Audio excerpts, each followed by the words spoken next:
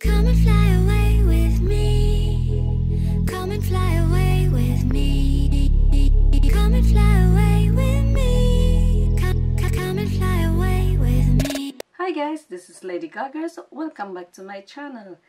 In today's video, I'm going to share with you all the things that I've been enjoying lately. My current faves. If gusto nyo malaman kung ano-ano sila, please keep on watching. So guys, mag-start tayo sa mga skincare ko. Ah, isa lang yung brand ng skincare. Ah, no, isang brand guys, pero ah, majority nila ay nasa isang brand. So, ah, mag-start tayo sa toner. Yung toner ko guys is the La Roche-Posay. Yung toner ko.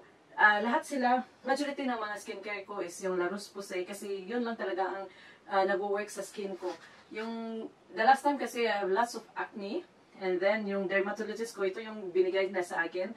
Uh, nire-recommend na sa akin and it works. So, ito yung um, favorite ko guys na uh, toner. Konti na lang, ang- konti na lang yung na, naiwan guys. And then, I have it here. Um, vitamin C. Yung vitamin C ko guys, I use it every morning. And the La Roche-Posay pa rin. Yung vitamin. And then the next one is the retinol. The retinol guys is ano the um, La Roche-Posay pa din. At saka ginagamit ko siya every night. Yung um, retinol ko. Bago lang ako gumagamit nito guys. Mga lately lang. Pero nagugustuhan ko siya. So, uh, kinukontinue ko siya. Pang ano ko pa ito. First bottle ko pa ito. Pero, pero yung ano, yung vitamin C ko is pang ano na ito. Pang apat na yata o pang lima na bottle ko na yata yan. And then, uh, gumagamit din ako ng niacinamide na La Roche-Posay pa din. Ito yun siya guys. And then, uh, ginagamit ko siya every morning and every night. So, uh, ano lang siya guys, nagugustuhan ko siya guys kasi yung mga dark spots ko dito, nagla-lighten up talaga siya. So, kinukontinue ko siya. And then, I have it here, the eye serum. Ganon pa rin guys, La Roche-Posay. And then, yung uh, micellar water ko guys, same same din yung ano yung uh, La Roche-Posay. Yung ginagamit ko before is ito din tapos uh, ito siya guys, is sample lang niya. Parang pag nung bumili ako ng isang serum, binigyan ako ng isang kit na free yung mga maliliit na ano. So kinikip siya yung maliit kasi pag nag nagta-travel kami or malis kami, dinadala ko to mas konti lang siya. So inaano ko lang siya parang uh, nire-refill ko lang siya guys. And then, uh, what else? Ah, yung ano ko guys, yung uh, sunscreen. Before kasi gumagamit ako ng La Roche-Posay at saka yung, uh, ano yung isa, na local product dito guys. So, ngayon, tinatry ko itong Aveeno. Yung Aveeno na stick. Gusto-gusto ko siya guys kasi mineral siya. Tapos sa isang ano ko lang, ma, hindi siya nag hindi siya nagano sa sa eyes ko, nag-irritate kasi yung eyes ko sa ibang ano, ibang mga ah, skin na sunscreen. So ito siya guys, hindi talaga siya nag ano nag uh, nag-irritate. So ito yung ginagamit ko, dalawa yung ginagamit ko guys. Ito na binili ko lang dito at saka itong uh, Lux Organics guys na Lux Organics High Protection 5 in 1 UV Pro Whitening. Napakita ko na ito sa ano sa Get Ready With Me I think. And then uh, hindi naman pong puti yung ano ko guys, yung mukha ko, pero nagugustuhan ko siya kasi hindi din nag-irritate yung eyes ko nito. And um, minsan hindi na ako nag, ano, nagkikream sa mukha ko. Ito na lang ginagamit ko kasi sabi dito is 5 in 1.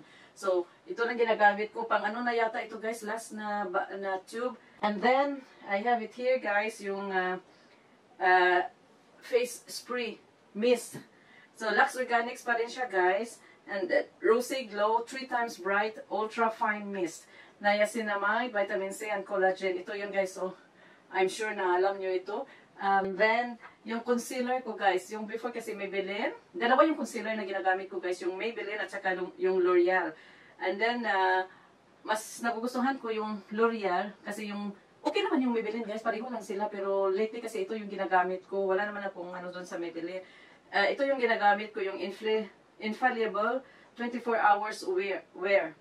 So, yan yung ginagamit ko. Ito lang ginagamit ko guys, wala na akong foundation. Yun lang yung black spots na, na, na ano, yun lang ang nilalagyan ko. Tapos wala na akong foundation, not like before na nag na foundation ako or whatever. So, ito lang ginagamit ko. Dito lang talaga sa black spot ko guys. So, yan ang favorite ko. Ilang beses, ilang ano, tube ko na, pag ilang tube ko na yan.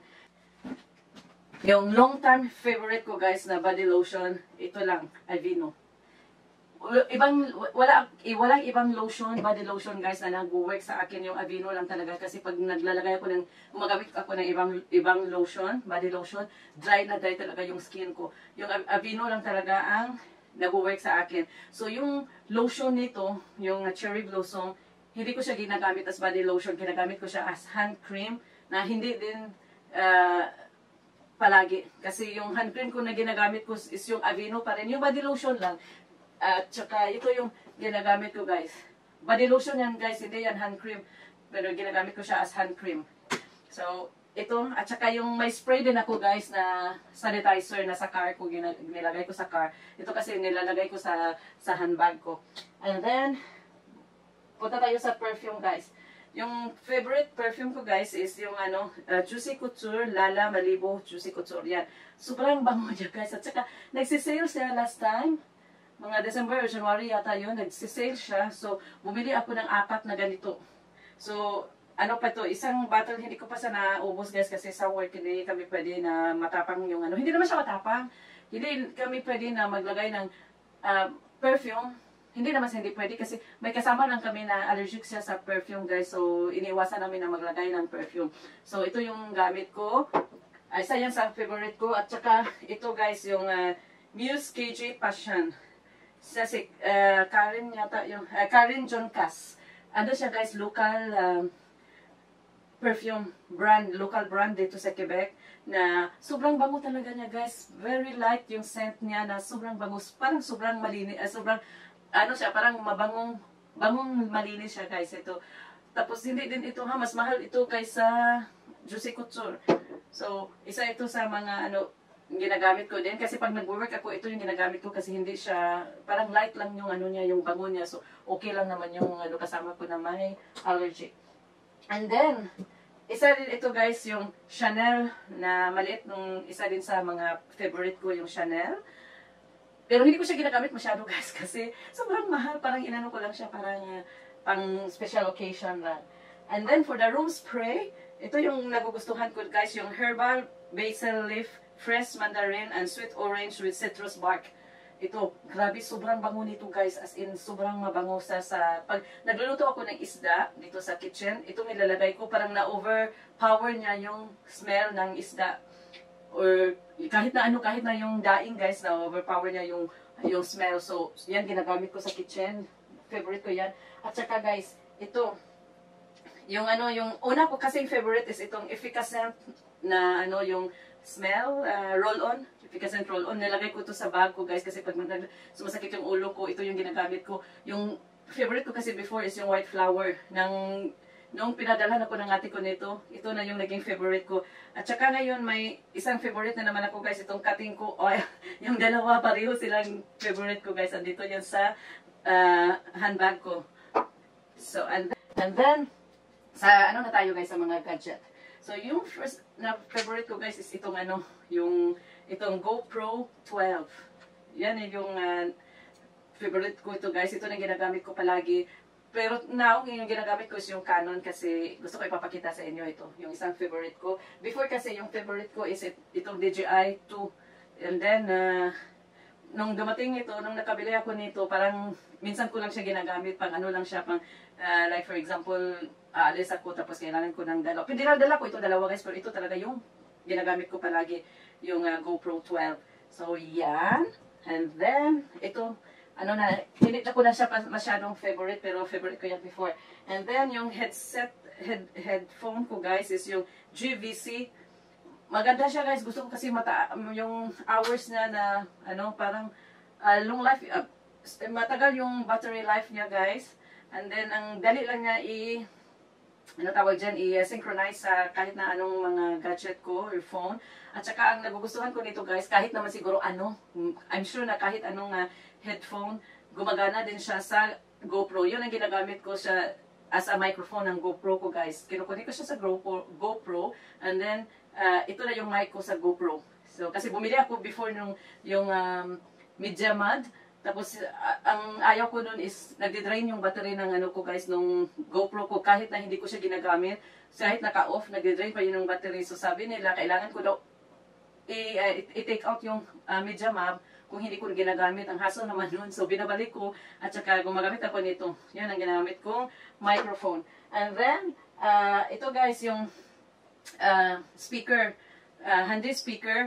Hindi ko kasi afford yung Marshall guys. Afford ko naman guys, pero parang ayaw ko na mag-spend ng $300 para lang doon sa Marshall. So, nakita ko ito, maliit lang siya guys. Para siya yung pinakamaliit na Marshall. Ang, pang, ang brand niya is Urbanista. Urbanista. Na, na, nabili ko ito sa Winners. Nabili ko ito ng $19 lang guys. Nung pumunta ako sa electronic store, nakita ko ito na, na ano pala siya, $60 na hindi naman siya nakasale sa Winners pero ano lang, yun yung talaga ang price ng Winners, 19.99 at saka sa sa mga electronic store is uh, ano siya, $60. Tapos yung music, uh, yung sound niya guys, okay naman siya guys. As in, okay, okay. Sapat na sa akin ito guys, kahit na saan ako dinadala ko ito. Yun na, yun ang favorite ko na speaker. And then, ito guys, yung um, tripod. Ang nagustuhan ko dito guys is pwede yung camera dito. At saka pag ginaganon mo lang siya, pwede mo na yung telephone mo dito ilagay. So, hindi mo na, hindi mo na kailangan na mag, mag-change pa ng head para sa telephone at saka sa camera. So, pwede, pwede siya guys. Okay, okay talaga siya. So, pwede mo siyang ma-change ng pinakamaliit, pa pinaka, ano, yung maliit nga. Tapos, pag gusto mong habaan, ayan lang. So, gusto gusto ko ilang, matagal na sa akin ito guys. So, uh, ginagamit ko pa rin siya. And then, next is my neck fan. Ganun guys. Kasi nung pag summer dito sobrang init talaga guys. Tapos nung nasa work, pag nasa work kami, uh, nasa kitchen ako. Hindi, wala namang ano doon. Sobrang init naman talaga yung kitchen. So ito yung ginagamit ko guys. Kami, allowed kami guys na gumagamit nito. Eh, I'm sure na hindi siya allowed sa iba. Pero naawa sa amin yung directress namin. Sabi niya, sige, allowed kayo. Pero pag may nag-check, oh, ialis nyo na dyan. Pero yun dito, sobrang gamit ko ito sa work ko guys. And then, the last one is my handbag. Itong Marc Jacob, Mike, Marc Jacob uh, snapshot camera bag. Ito guys. Nung at first kasi guys, naliliitan ako sa kanya. Pero ngayon parang pag nagano ako, pag nasa work ako, puntahan ko ng work, yung backpack yung gamit ko, yun talaga yung working bag ko. Tapos pag umaalis na kami, kinuha ko na yung wallet ko, kasi kailangan yung driver's license, andun lahat. At saka yung telephone, yun lang guys ang nakalagay nito guys. At saka yung maliit na hand cream guys, kasi alam nyo naman na hindi ako, hindi ako pwede na walang hand cream. And then isang, isang uh, lip tint. At saka isang maliit na wet towel. So, yun lang guys, yung uh, mga current favorite ko guys. So, uh, I hope you enjoy watching this video. So, please don't forget to like, subscribe, and comments down below. Thank you for watching.